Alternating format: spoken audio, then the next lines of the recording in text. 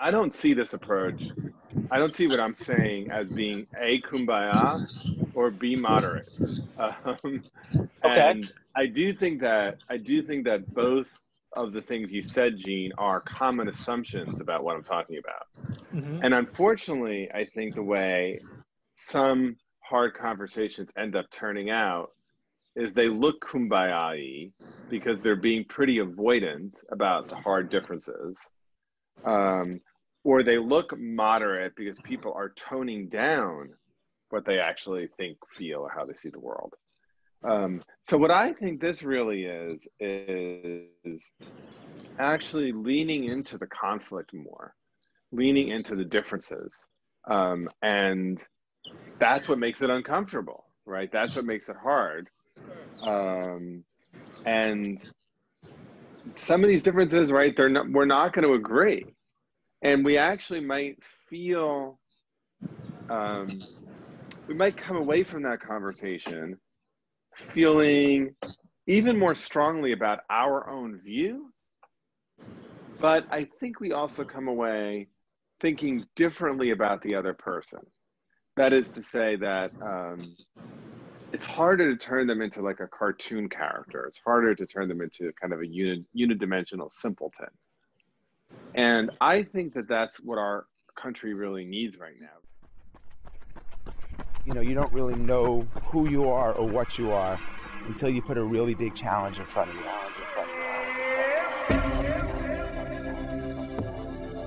Fear is an asset and ally here to help you be magnificent. Magnificent. magnificent. This crazy, silly, stupid idea to run across the Sahara Desert.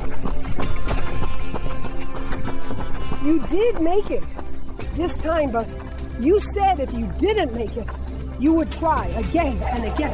Everybody's connected to nature, connected to music, to their families, and now we're going to build a world that doesn't have racism and war and starving kids.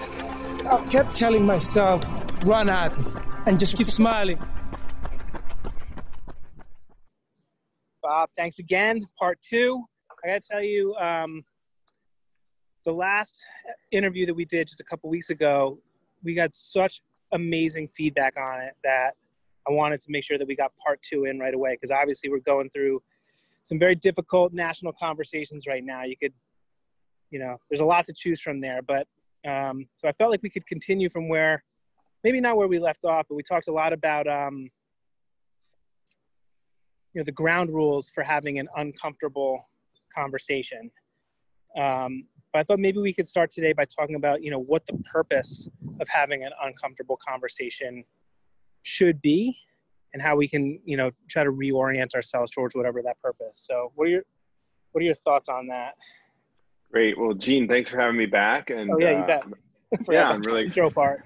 I'm, I'm delighted to, i'm delighted to hear that um, there was a lot of feedback. Um, and enthusiasm to hear some more because i think i think yeah. as a country and as individuals we certainly need more of these uncomfortable conversations so yeah with respect to um, the purpose um, I think the purpose has to be, if they're going to succeed, um, to learn.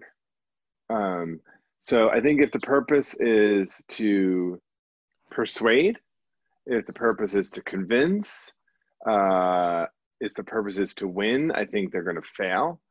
Um, so I think the purpose has to be they're this this person or this set of people on the other side of an issue where something seems really clear and evident to me, and it clearly doesn't seem that way to them.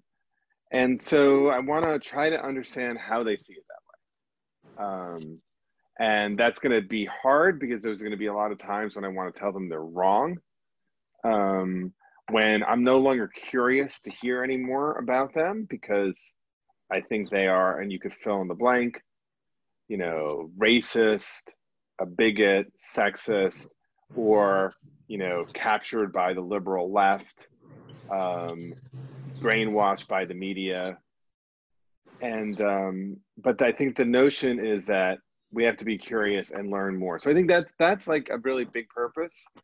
I think once you have that purpose, then any other number other purposes are also can be appropriate, right? So it could be to build a further connection. It could be to bridge a gap. It could be to Um, maybe just problem solve around a set of issues that we have to figure out. We might not agree on three major issues, but it doesn't take away from the fact that there's six other issues that need to be resolved where if we can't work with each other on it, we're not going to resolve it. But so maybe just to like push back isn't the right word, but maybe explore that a little bit further. Like, what's the purpose of learning? Is the purpose of learn like because I go into this and like my instinct is I want to persuade. Yeah. And so I want to learn what the way that you feel so that I can more effectively persuade you. Um, so I feel like disingenuous, like going into a conversation that's like, let me, you know, I'm, I want to learn and understand how you feel and why you feel this way, and that's it. Because like, you know, I ultimately do want to persuade you that, you know, maybe the way that you're thinking about this issue is wrong, or maybe you know Yeah. I should be open to like understanding why I'm wrong. So I got to leave myself open to that. Um, but like you said, like the I guess the deeper like to build a bridge isn't to building a bridge trying to bring us closer together, which is in some way about persuasion. Yeah, so I think that there can be a whole host of subsidiary purposes. Um, but I think the first pur- purpose, like on your list, has to be to learn. Um, because I think that, and this is the problem with, I think, people who, I mean, the reason why I came to be interested in hard conversations is my original interest was in negotiation. It was in how mm-hmm. do I persuade people? And I thought, oh, the way you persuade people is by getting a lot of data, is by coming up with really tight arguments, is by showing them evidence, is by getting more kind of leverage and power. And I think what I learned is, you know, sometimes all those things can work, but it's actually not, they're not really particularly effective.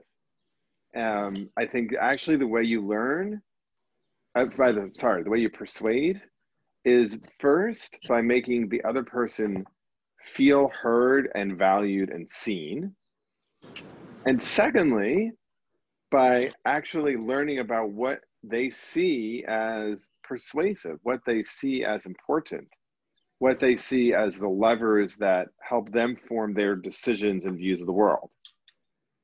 Um, because that then allows us, if, if your purpose is to persuade, it allows you to know how you could be persuasive instead of making assumptions about what would be persuasive. Um, but I right, guess but then like it's but then it's almost like a somewhat of a flawed um, premise on which you're having the or disingenuous premise on which you're having a conversation because I'm coming in saying, "Oh, I just want to learn, I want to learn," but really in the back of my mind it's because I want to figure out the way to persuade you. Yeah. Well, that yeah, I hear that, um, and I think that the I think the the challenge there, right, is that if you really really want to learn, um, I think you're going to be much more effect, and and maybe a subsidiary purpose is to persuade at some point. Um, but I think the learning interest has to come first, because if you're learning just for the purpose of persuasion, you're going to close off a whole bunch of avenues um, that a might be actually persuasive, but b actually might change the way you see the situation. Um, and I think part of part of what's tough if, if your first pur- purpose is to persuade um, and not to learn is that you shield yourself off from the possibility that you might be wrong, or not even wrong, just that you haven't seen the whole picture. Um, and so maybe maybe I could you know put a little asterisk to the purpose, right? Um, because it's it's to learning, but part of it is also, you know, this opportunity to both share your view, but also to make yourself a little bit vulnerable. Like a a hard or uncomfortable conversation doesn't work if you're not prepared to be a little bit more vulnerable yourself. Hmm. Interesting. Is this like, you know, with everything that's going on in the country? I guess you there's ex- could be examples on both sides of. It's, uh, this seems to be like an inherently kumbaya type of a framework or idea. And as divided as, and as heated as people are right now, if they're not interested in kumbaya at the moment, if they're not, it seems like a very moderate way of, and re, in kind of like even keeled way of approaching a conflict. But people, you know, a lot of times aren't really looking for that kind of moderate, even keeled way of approaching a conflict. They want to fight. So how do you, how do you get to, you know, get to that middle place where people are willing and ready to have an uncomfortable conversation and actually learn about each other? Yeah, great question. Um, because you allow me to kind of clarify a little bit. I don't see this approach. I don't see what I'm saying as being a kumbaya or b moderate. Um, Okay. And I do think that I do think that both of the things you said, Gene, are common assumptions about what I'm talking about. Mm-hmm. And unfortunately, I think the way some hard conversations end up turning out is they look kumbaya because they're being pretty avoidant about the hard differences. Um, or they look moderate because people are toning down what they actually think, feel, or how they see the world. Um, so what I think this really is is actually leaning into the conflict more, leaning into the differences, um, and that's what makes it uncomfortable, right? That's what makes it hard, um, and some of these differences, right? They're not. We're not going to agree, and we actually might feel. Um, we might come away from that conversation feeling even more strongly about our own view. But I think we also come away thinking differently about the other person. That is to say, that um, it's harder to turn them into like a cartoon character. It's harder to turn them into kind of a unit, unidimensional simpleton.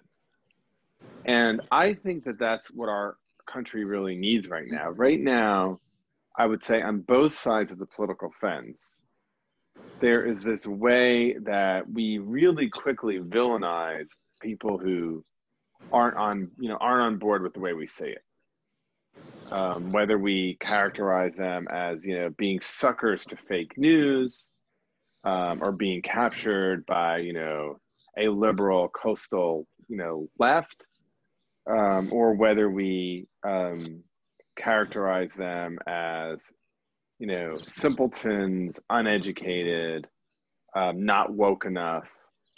Um, even, you know, even in within like kind of sometimes shared political views, we see this tendency toward, you know, a cancel culture. Mm-hmm. Um, I thought you were on my side, but now that you did this or said this thing that I don't agree with, I'm done with you. Um, and I think that's not courageous. That's not um, being, to me, like a, a, a real advocate. That's just exit, exiting stage left. Mm-hmm. Um, people who stay that- in the. Yeah, That's what I mean. Like, you have this kind of cancel culture on both sides, where it's just like, you know, if you're not woke enough, you're not woke enough, and if you're not like MAGA enough, you're not MAGA enough, and like, but then I think most people are probably moderate and in the middle. But our conversation, like if you open the newspaper or the news or anything online, it seems like the conversation's just being had at the extremes, and like, so how do you say, you know, to somebody who's, you know, to whom you're not woke enough like how do you ha- how do you kind of or how do we kind of like bring it back into like more of being able to have an uncomfortable conversation Yeah. So I like think, i you remember know- like when we were when i was in law school with you like it was 9-11 it was like our my first week of law school and so like everything was through that prism and i just remember almost having an identical conversation with you like how do you negotiate or have an uncomfortable conversation with the taliban right so maybe that like like how do you do that Right. Well, I think that I mean the Taliban arguably is a different kind of a conversation Yeah, I know there's Um, a lot of differences there, but that I want to I want to hold back from. yeah, But I but I do think right the, the fact that we're even making a comparison between the different views that we would have internally politically in the United States and the Taliban is kind of interesting Um, but I would, I'll, I'll make this comparison. How, you know, there's a distinction I would say between having a difficult conversation with the Taliban as an organization than there might be with having a, con- a one-on-one conversation with someone who is a member of the Taliban.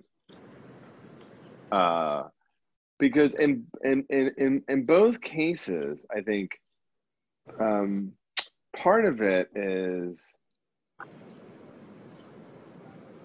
the, if if people are doing things that I think of as completely evil and wrong, they could in fact be completely evil and wrong. Um, or it could be the case that from their worldview, from the way they see things, what they're doing has a legitimate and grounded purpose and reasoning to it. And without justifying their behavior, if I want to be effective in the world, um, and if I'm really interested in, and you could fill in the blank, building a better community, building a better company, building a better stable world, if you're at the mm-hmm. national level, um, it would be to my benefit to understand how their thinking is such that they think that something that I think makes no sense is the right thing to do. At the end of that conversation, I could decide, you know what, I think they're evil. or I could decide, I see what like the logic of what they're doing. I still think what what the thing it is is inexcusable.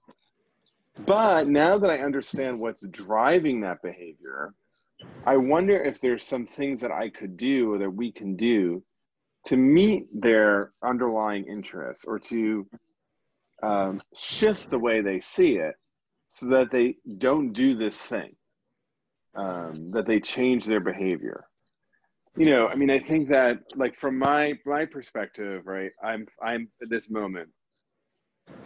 Uh, I'm finding it really perplexing how people see wearing a mask in public places mm-hmm. as something that infringes on their liberty. And I would really welcome a conversation, uh, like a genuine conversation with someone who sees it that way.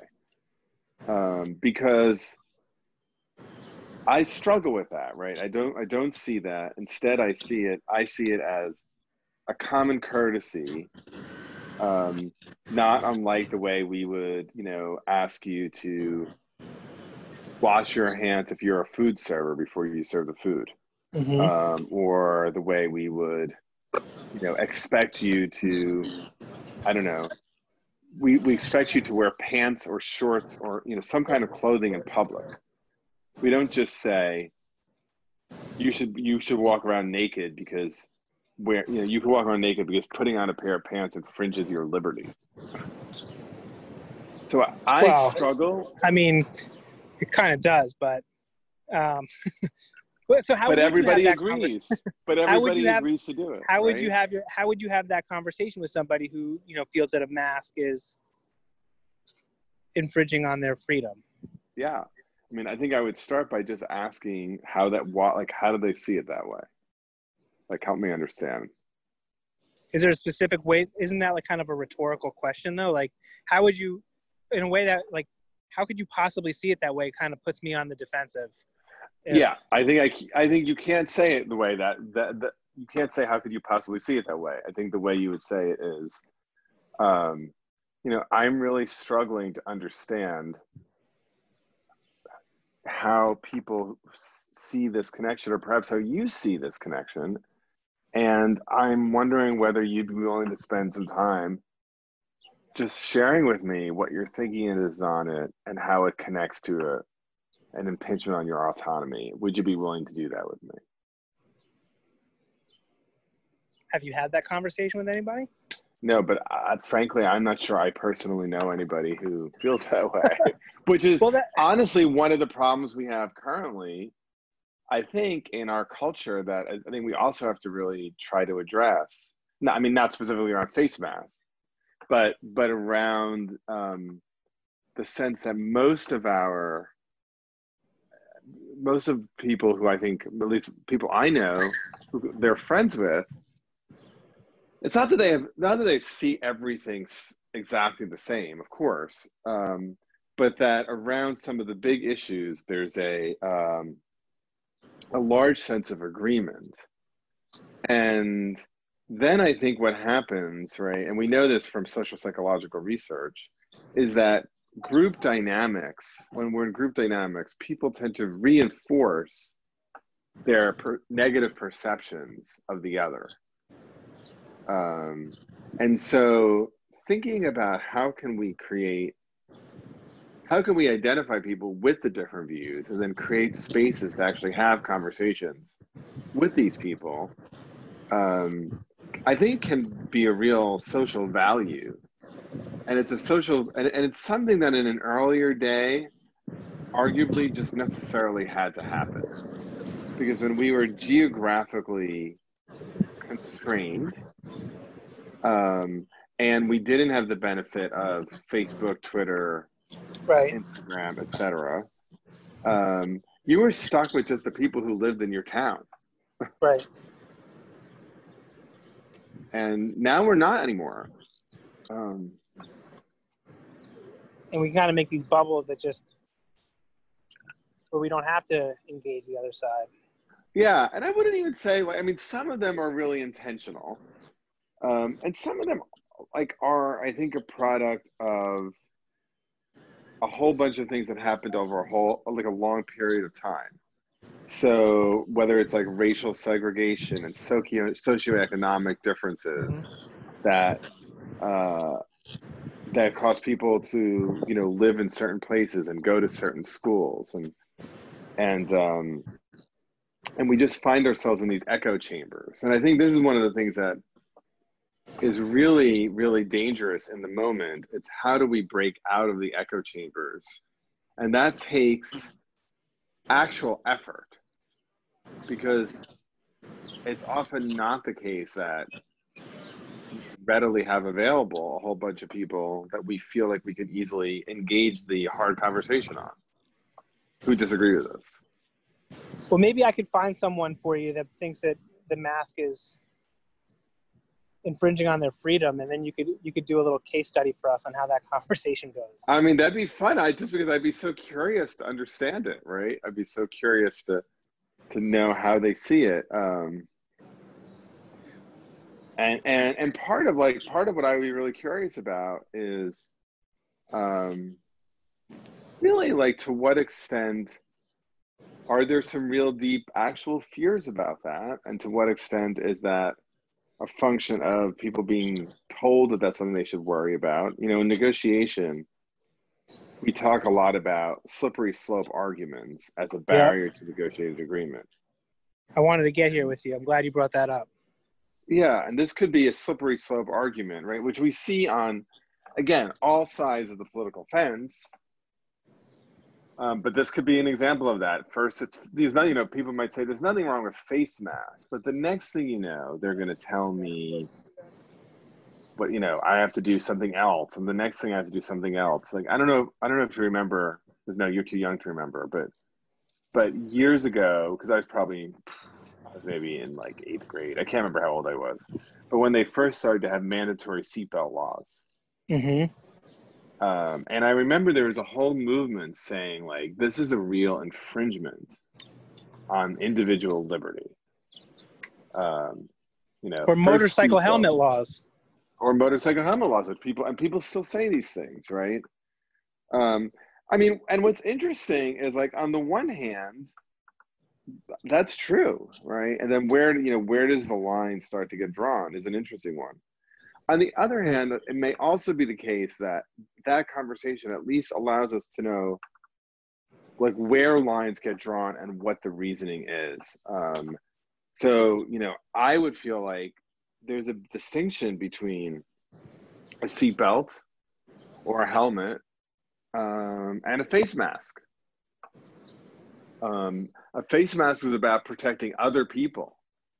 A helmet's about protecting yourself. Mm-hmm.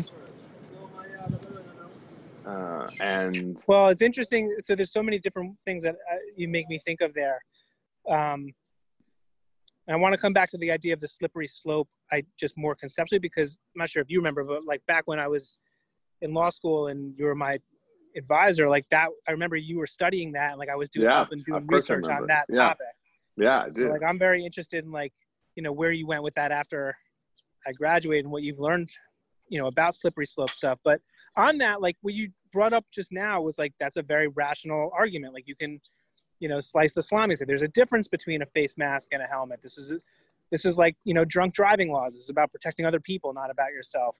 But really, it's not the logic that is, I think, in a lot of cases motivating people. It's it's more of like an underlying fear that they don't want, you know, you Ivy League, you know, Northeast liberal coming in and telling me what to do.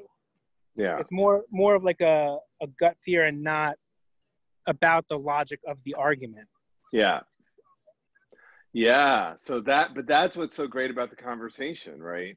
Because I mean, if someone says that, right, I think I'd be like, wow, like I want to hear about those fears. Like, like there's a lot of, you know, what you're saying is there's like some some something that's less about um, data or facts and more about an interest in you know personal autonomy and and the way you phrased it um, particularly some concern about you know whatever northeast liberals or ivy league liberals telling other Mhm. people what to do and so i would hear that as some experience or some story or both that this other person has of being kind of har- of being harmed or their family being harmed and that might lead to a really different conversation that might lead to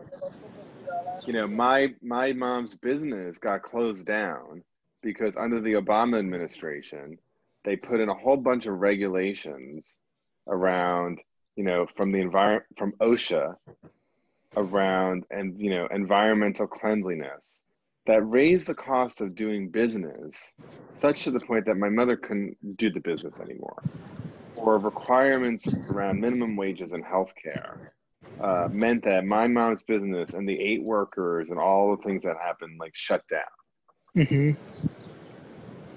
well that like hearing that like if i if you're on the i I just made obviously made that whole story up right? But if you're on the other side of that conversation, does that change your view on face masks? Probably not.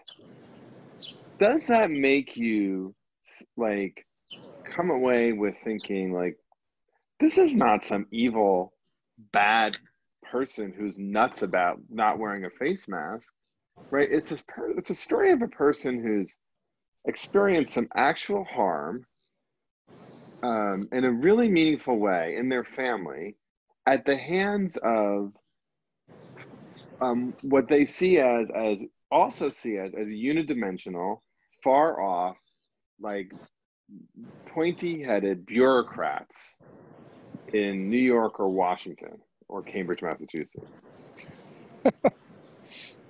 like that makes me think totally different about that person. And what I would hope is that in part of the conversation, they would be able to, we would be able to access, or uh, I'd be able to tell a story or do something for them that they came away thinking, okay, like, you know, Bob's a little bit pie in the sky. He spent too many time, too much time in, in a university, but I, he wasn't like, he wasn't all the horrific set of things that I thought he was. And we come out of the conversation, I just think with um, more of a sense of like kind of mutual care, more of a sense of these issues are more complicated than they seem.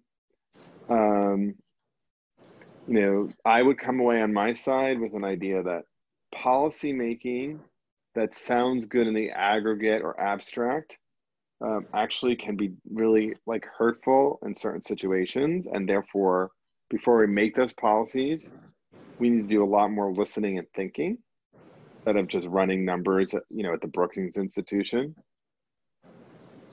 And I hope that, you know, people on the other side will come away thinking, like, yeah, just in a more kind of sympathetic and complex way about. Yeah, um, but not only, I mean, yeah, that's giving a little bit too much credit to people that people are going to think in a complex way.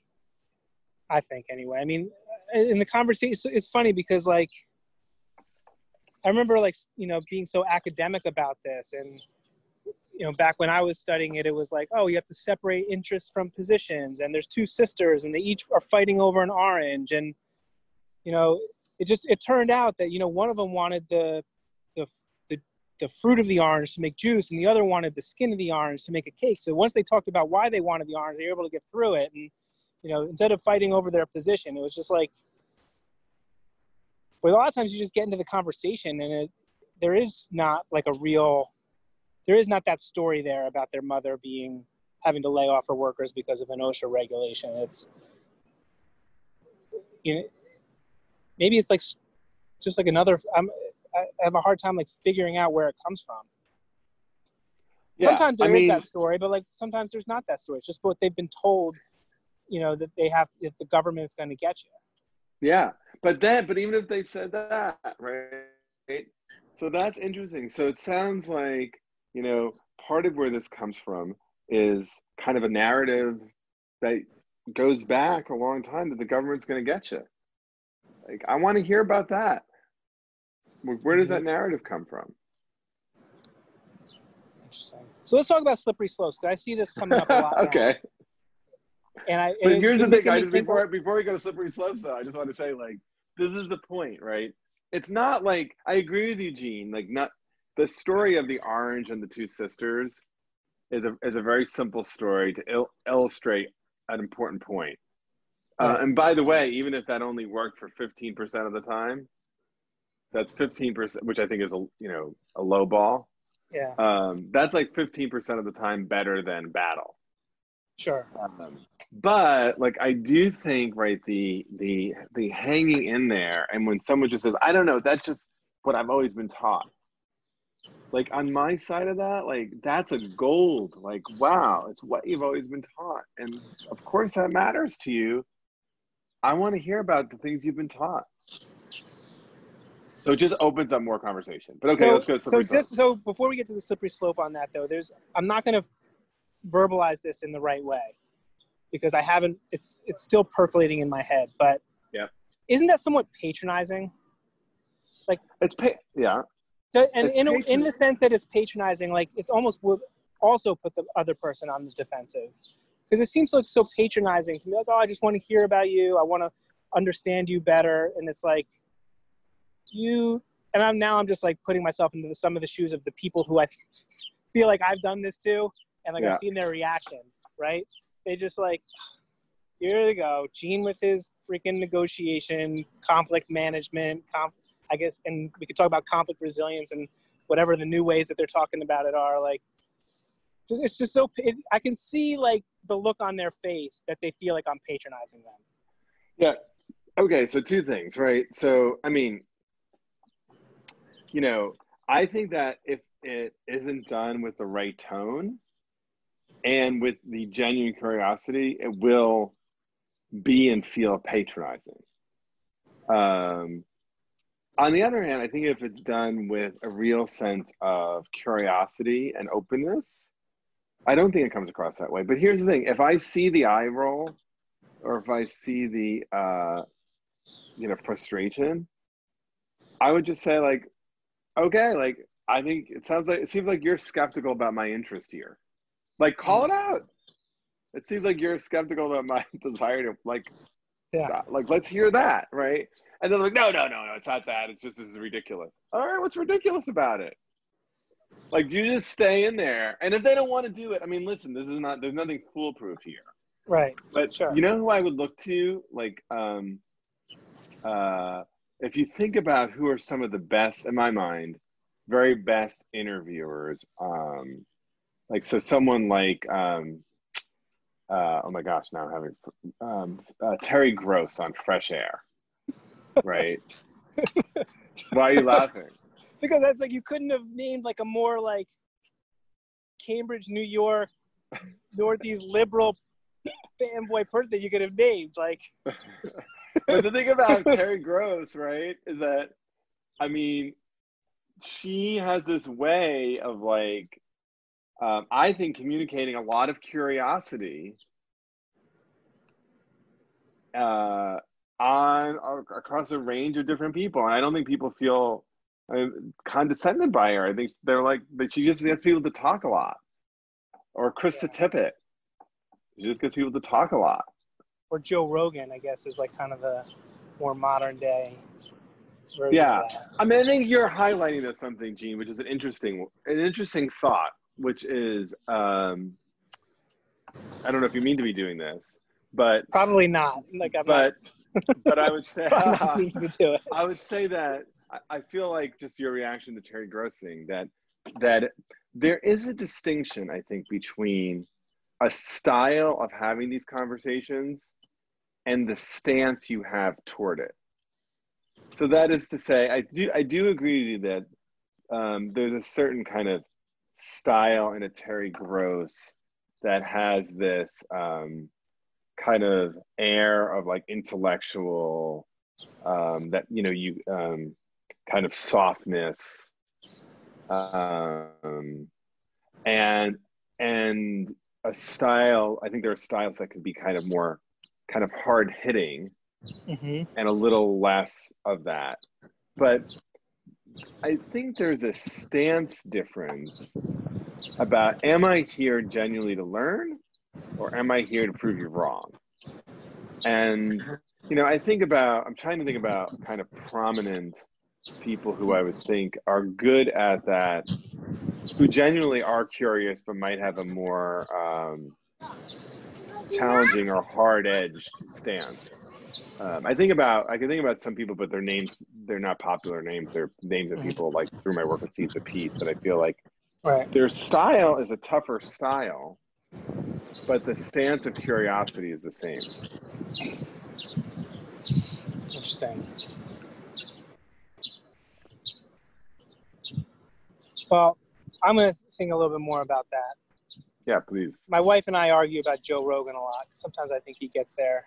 Sometimes I think he's off the deep end. But I think it's interesting how we can have a lot of people on that are very different, totally different people, and just like have a, make everybody feel really at ease and comfortable. And but anyway, um, yeah, slippery slopes. Yes, very interested in this because like I remember studying this with you and researching it with you, and I you know I see it coming up a lot now, especially on things like the statues and removing yeah. the monuments.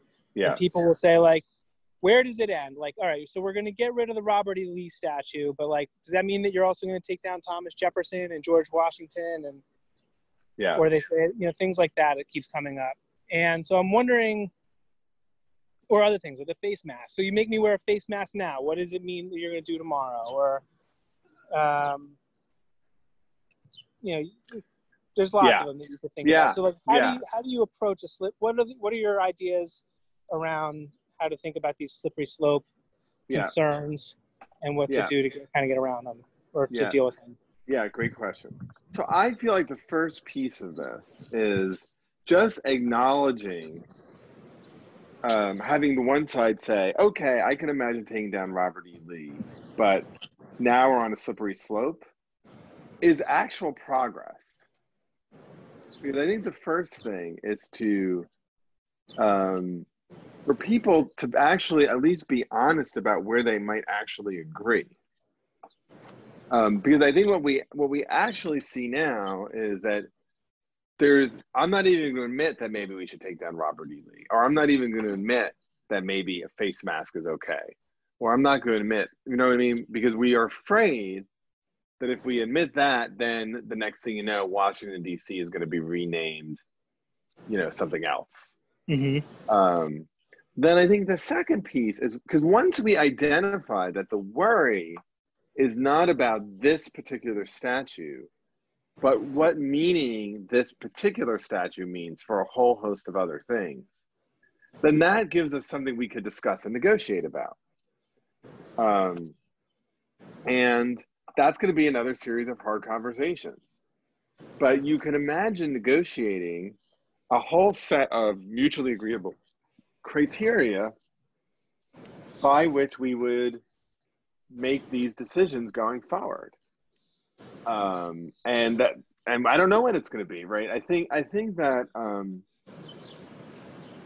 I think what doesn't work is for the other side to say, you know, don't worry, no one's ever going to want to, you know, rename Washington D.C. Um, I think if you're Why on the doesn't that work? Because I think right now the trust on both sides is so low that I don't believe you. Hmm.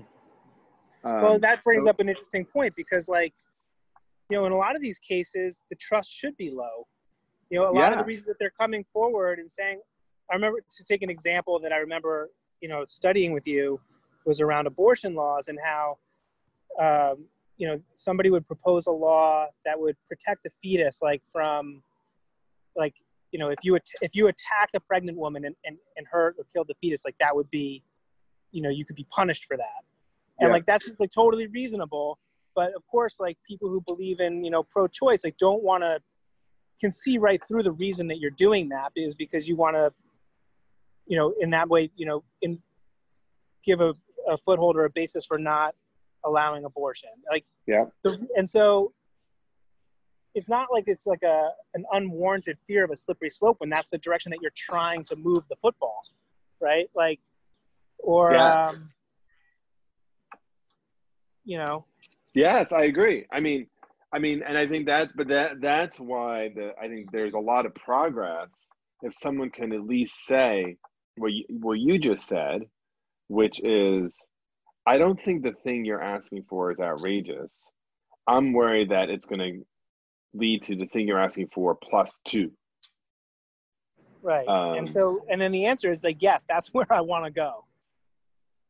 Right. and so great yeah so great so that's where we want to go so so then here's the thing like i'm prepared to have an ag- negotiate an agreement with you that we can go to x um but i you know i want to draw the line at x plus 2 um and i want to frame this in ways that it doesn't um, it doesn't get counted as a precedent for or doesn't have meaning for the following different different ways because otherwise we can't move forward on anything, right? It can't be the case that either, you know, just to use the statutes example, right, that um, we're going to have a 2020 litmus test for every single statute that was put up in this country.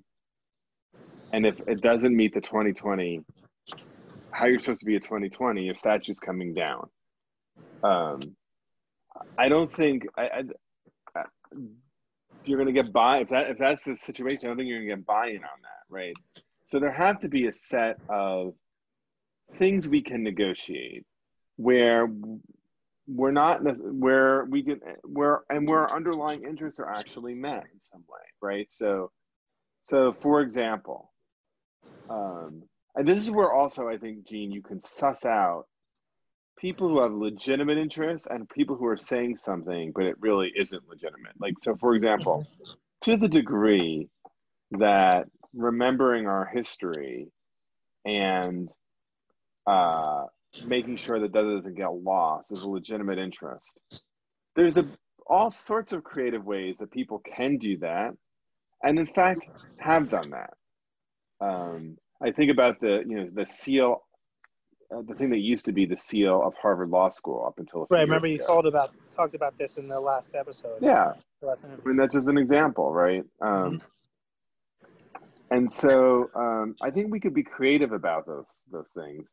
On the other hand, then, and this is what the beauty of going from you know positions to interests.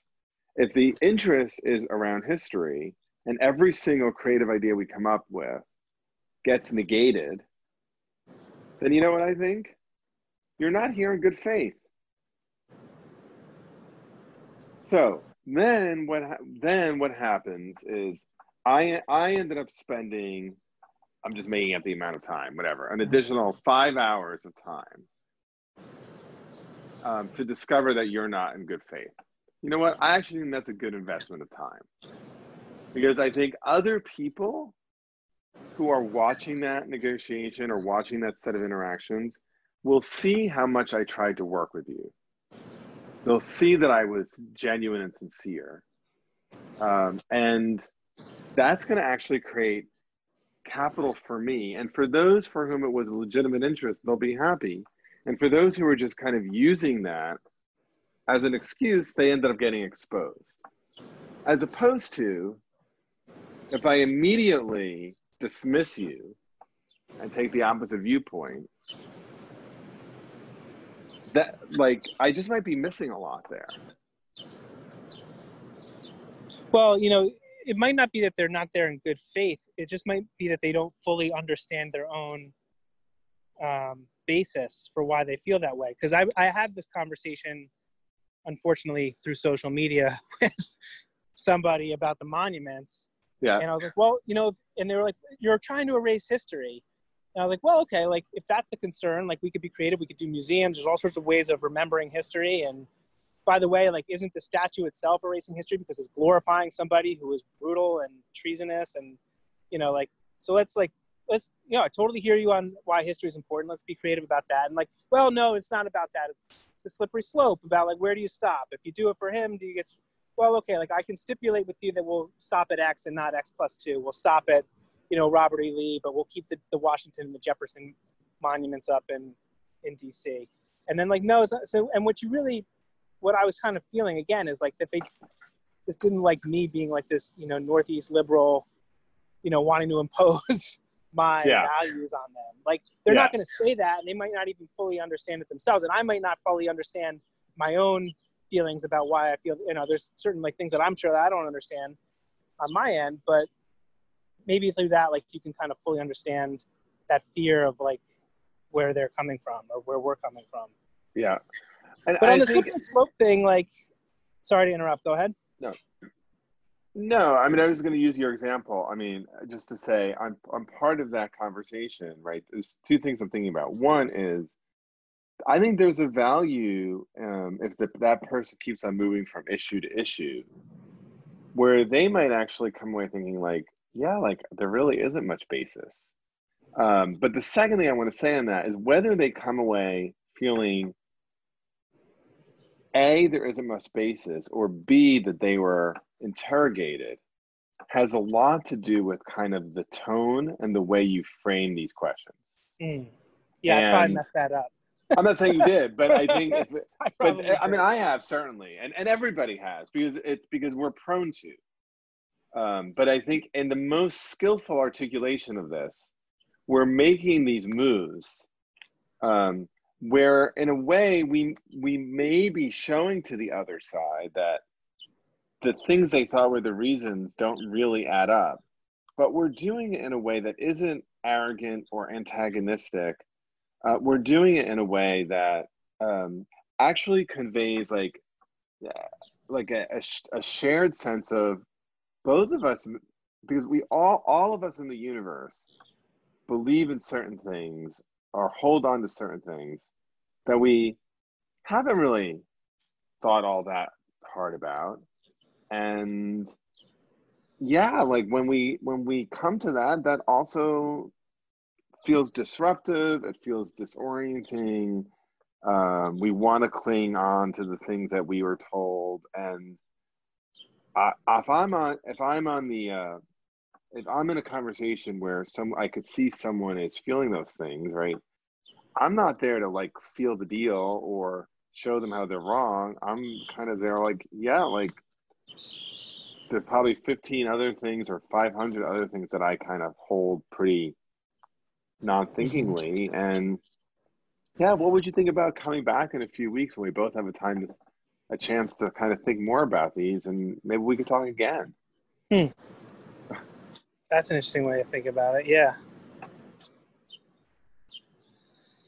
Hmm. sorry but you can ask me something Oh, so I was just going to ask on the slippery slope thing again. Like, what if like you don't want to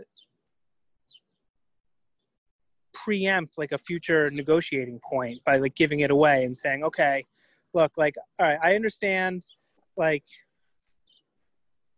I don't know what a good example is. Um, let's take gay marriage for example.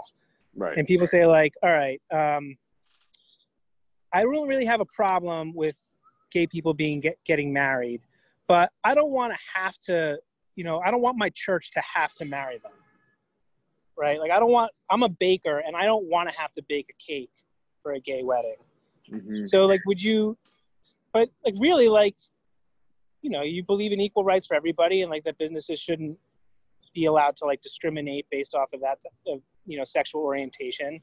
Or like i, I don't want to have to you know hire somebody uh based you know on who's gay because i'm a i'm a, a religious institution and it's against my religion Yeah. but like you don't want to give that chip away by saying like, you you do want to go down that slippery slope so you don't want to like say i'm not going to go to x plus 2 because i do want to go to x plus 2 Right.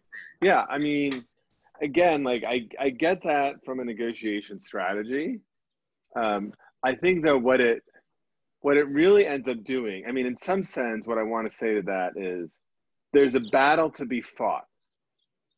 So we could either fight the battle on the thing we actually all agree with, which I would say actually makes you look weaker, and or we could when we get to the area where we disagree we could have the battle on those merits. Mm-hmm. And at least you'll have some merit right? I mean because i think they're they're you know i'm just using your example right arguably i mean i guess it's arguable but i think that there is a stronger argument that would get a lot more sympathy around whether a church for example um, should be forced to bless a, a same-sex marriage because in our country we um, have enshrined freedom of religion mm-hmm. then whether an individual and their right to marry someone should be infringed upon. So you're now not you but you know someone on the other side you're saying i'm going to fight the fight on a right that i think you should have. Actually makes you, kind of you look worse. Like I, fight the fight on the thing that you actually really feel about. Um, that frankly like i think many people might might agree with you on. Um, but i mean i get it. Like listen i think slip, i mean slippery slope arguments are powerful barriers to negotiated agreement for the reasons why you're saying. Um, so i mean i'm not saying that i'm not saying that it's crazy to worry about this but i think what's happened and what is happening more and more and i mean it goes to something you know we mentioned earlier. Because there is a bigger and bigger reduction in trust around the goodwill and integrity of the other side. We have seen people stake out more and more extreme views. Um, because I'm afraid I don't trust that when we get to the conversation about religious organizations, that you will accord the argument or grant the argument that there is something different about religious expression. Whether you agree with me on the substantive matter or not, just that you'll grant that there's something different. I'm afraid you're not going to grant that as like a matter of like constitutional fact or normative fact. Um, therefore, I'm going to stake out the most extreme possible position I can right now. Mm-hmm. In the same way, I mean, the abortion argument is a really good example of that.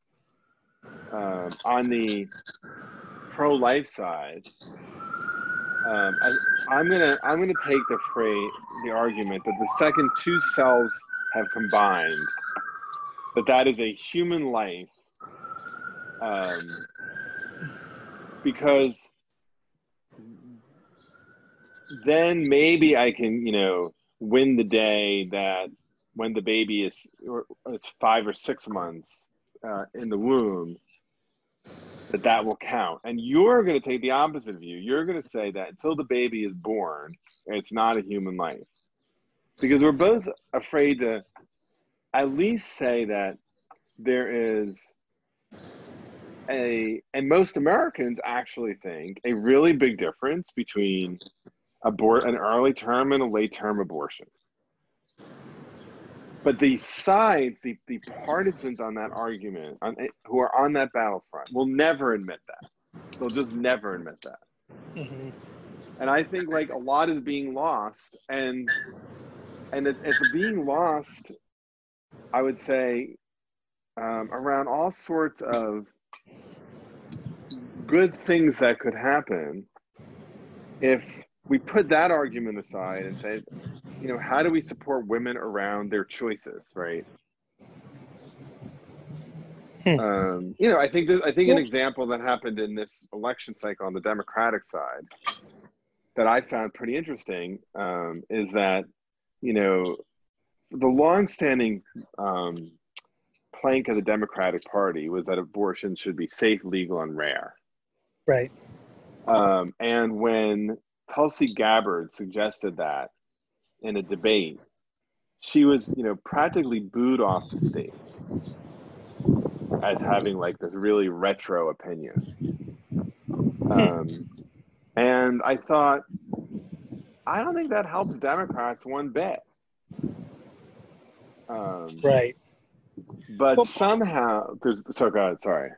I was saying some of what I think is, and some certain things are kind of like, you know, synapses are firing together. It's like, is maybe underlying a lot of the things that we, that you've brought up and we've talked about in this conversation is trust. And like, how do you, you can't have these conversations if you, if there's not that trust there. And it's really hard to have that trust there if your intentions aren't at least understood and, and you Yeah. can't trust each other's intentions. Like if you think that I'm Yeah. coming into this conversation just to persuade you, then we're not going to trust each other. We're not going to trust each other. Yeah. I mean, I think, you know, yeah. Trust is like something that you can't build in that moment. You can't just sit down and like establish trust in that moment. It's, it's got to be built way, way, way in advance. And it just seems like so many of the things that are going on are just eroding trust Yeah. making it a lot di- more difficult to have these conversations and build these bridges. And you know, I'm not sure. Like you know, you've spoken a little bit about conflict resilience, which is a, a new term for me. Back in my day when I was studying with you, was this transition from conflict resolution to conflict management. Now I guess it's gone to conflict resilience. But you know, when I think of resilience, like resilience is not something that you can develop at the moment that you need it. You've got to develop it way in advance. That's You know, you've exactly got- right. You've got to like make yourself resilient by training it over time, training yourself over time to be resilient. Yeah. Um, so Yeah. how are you like how how are you is is that am I kind of hitting coming into like the right area about conflict resilience and trust? Is, is that yeah kind of so i think i think your point on trust is exactly right and it kind of almost brings us full circle right about why have these conversations at all right because i think that when our stance is a stance to learn one of the byproducts of a conversation is that it increases the likelihood that we could actually have some trust in the other side trust in their integrity trust that they're not just some unidimensional cartoon character. Um, we get to know them in a deeper way. And I think that um, if we can kind of build that reservoir of kind of trust, a sense of basic kind of decency and integrity, um, it, it opens up our capacity to work with each other, even on the areas where we disagree. And maybe that that is um, kind of helps me kind of introduce this idea of conflict resilience. So that's a pretty new term that I've I've kind of been coining. I mean, it's not really out there. I've Okay. written I've written an article on it, and I'm doing more writing on it.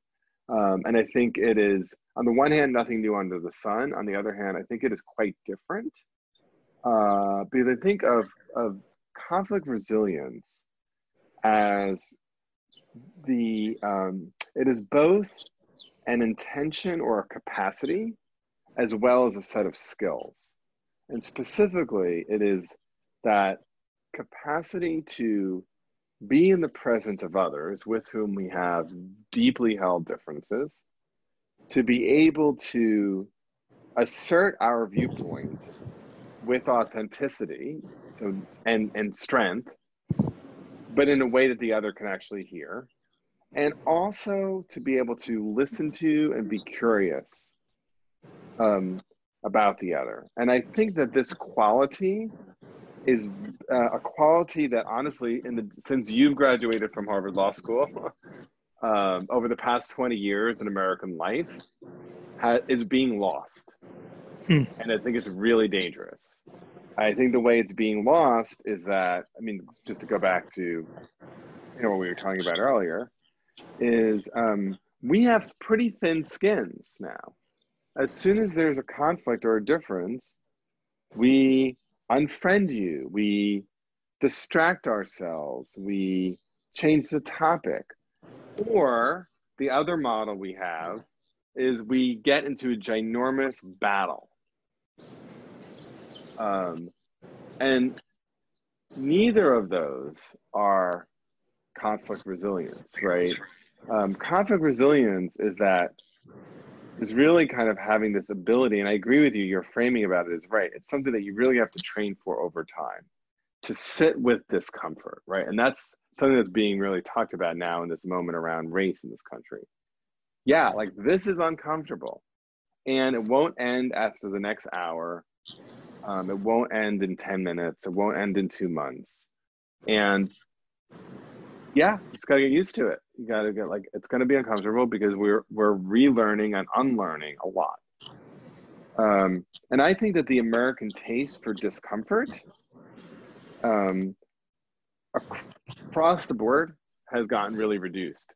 I was at a talk um, some months ago on opioids, and the speaker was talking about how there's a way that we want to blame the pharmaceutical companies for opioid opioid addiction, and Mhm. certainly they are, you know, uh, have a culpable culpability to them. But you know where you know where else, you know where they got their business from, the American people, because you know why? People didn't want to feel pain after surgery, right? I don't want to feel any pain at all. Make it go away.